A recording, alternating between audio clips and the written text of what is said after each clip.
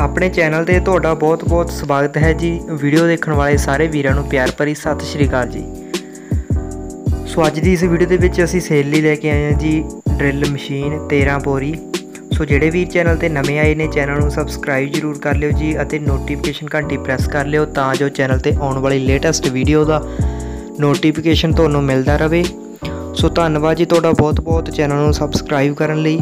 ਆਪਣੇ ਚੈਨਲ ਦਾ helpline number note ਕਰ ਲਓ ਜੀ 8847748496 ਜੇ ਕਿਸੇ ਵੀਰ ਨੇ ਆਪਣੇ ਇਸ ਚੈਨਲ ਤੇ ਕਿਸੇ ਸਾਧਨ ਦੀ ਐਡ ਕਰਵਾਉਣੀ ਹੋਵੇ, ਤਾਂ ਆਪਣੇ ਸਾਧਨ ਦੀਆਂ 5-7 ਫੋਟੋਆਂ ਅਤੇ ਉਸ ਦੀ ਪੂਰੀ ਜਾਣਕਾਰੀ ਸਾਨੂੰ ਸਾਡੇ ਇਸ ਨੰਬਰ ਤੇ ਭੇਜ ਦਿਓ ਜੀ, ਅਸੀਂ ਤੁਹਾਡੀ ਐਡ ਆਪਣੇ ਇਸ ਚੈਨਲ ਤੇ ਕਰ ਦੇਵਾਂਗੇ।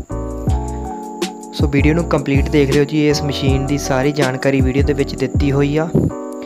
13 ਪੂਰੀ ਮਸ਼ੀਨ ਹੈ ਜੀ ਇਹ। ਕਣਕ ਬਿਜਾਈ ਵਾਲੀ 20000 ਰੁਪਏ ਵੀਰ ਵੱਲੋਂ ਇਸ ਦੀ ਡਿਮਾਂਡ ਰੱਖੀ ਗਈ ਹੈ। ਪੂਰੀ ਸ਼ੁੱਧ ਮਸ਼ੀਨ ਹੈ ਜੀ, ਬਹੁਤ ਵਧੀਆ ਕੰਡੀਸ਼ਨ ਦੇ ਵਿੱਚ ਹੈ। 20000 ਰੁਪਏ ਡਿਮਾਂਡ ਰੱਖੀ ਗਈ ਹੈ ਵੀਰ ਵੱਲੋਂ ਮੁਕਸਰ ਵੀਰ ਦਾ ਏਰੀਆ ਜੀ। ਮੁਕਸਰ ਏਰੀਆ ਦੇ ਵਿੱਚ ਇਹ ਡਰਿਲ ਮਸ਼ੀਨ ਖੜੀ ਹੈ ਸੇਲ ਲਈ। ਫੋਨ ਨੰਬਰ ਹੈ ਜੀ 99888 21027 ਜੇ ਕਿਸੇ ਵੀਰ ਨੇ ਮਸ਼ੀਨ ਖਰੀਦਣੀ ਹੋਵੇ, ਮਾਲਕ ਵੀਰ ਨਾਲ ਫੋਨ ਤੇ ਗੱਲਬਾਤ ਕਰਕੇ ਤੁਸੀਂ ਖਰੀਦ ਸਕਦੇ ਹੋ ਜੀ।